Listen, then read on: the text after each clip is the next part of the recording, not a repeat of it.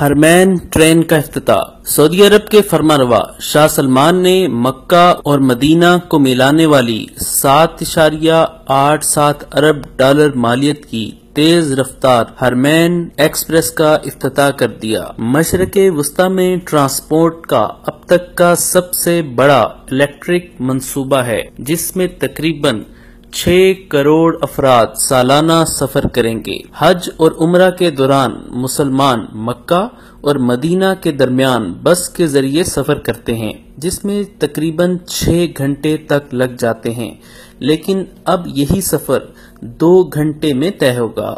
مکہ کا railway station مسجد حرام سے صرف چار کلومیٹر کے فاصلے پر ہے، جہاں پر بیس ہزار مسافروں کو سہولت دینے کی گنجائش موجود ہے۔ ہرمین ایکسپریس کے پانچ اسٹیشن ہیں، جن میں مکہ مکرمہ، مدینہ منورہ، King Abdullah economic city, King Abdul Aziz international airport Jeddah اور روس البحر الاحمر اسٹیشن شامل ہیں۔ یہ ٹرین پہاڑی علاقوں، ریتیلے میدانوں، ساحلی پٹی اور میدانی علاقوں سے گزرے گی۔ حجاج اور عمرے کے لیے یہ ایک گراں بہار تحفہ ہے جو انہیں اندرون ملک کم سے کم وقت میں ایک سے دوسرے مقام تک پہنچانے میں مدد فراہم کرے گا۔ مجموعی طور پر ہرمین ٹرین کے ٹریک کی لمبائی چار سو پچاس کلو میٹر ہے۔ دو طرفہ ٹریک پر ایک ہی وقت میں پینتیس بوگیاں چلائی جائیں گی۔ ہرمین ٹریک تین سو کلو میٹر فی گھنٹہ کی رفتار سے سفر کرے گی اور یومیہ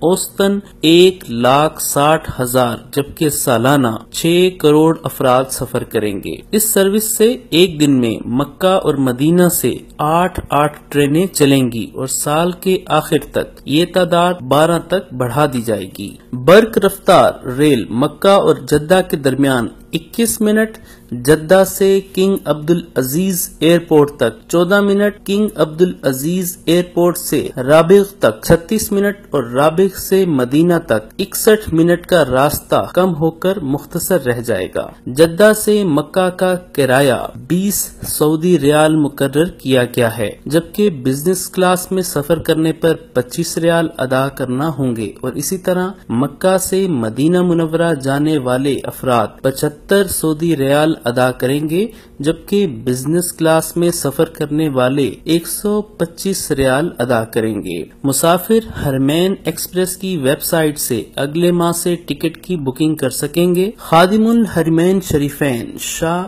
سلمان بن عبد العزیز نے ہرمین ٹرین کا افتتاح کیا۔ افتتاحی تقریب میں شاہی خاندان کے افراد کے علاوہ وزراء علماء مشائق اور منصوبے پر کام کرنے والی کمپنیوں کے سربراہان کے علاوہ دیگر اہم شخصیات شامل تھیں۔ انہوں نے جدہ سے مدینہ منورہ کا سفر بھی اسی ٹرین سے طے کیا۔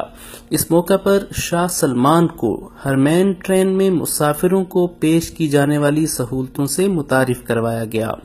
انہوں نے اپنے مہمانوں کے ہمراہ ہرمین ٹرین کی دستاویزی فلم بھی دیکھی۔ ویڈیو کے نیچے سبسکرائب کے بٹن پہ کلک کریں، بیل کے آئیکن پہ کلک کیجیے تاکہ ہر نئی ویڈیو کی نوٹیفکیشن آپ کو مل جائے۔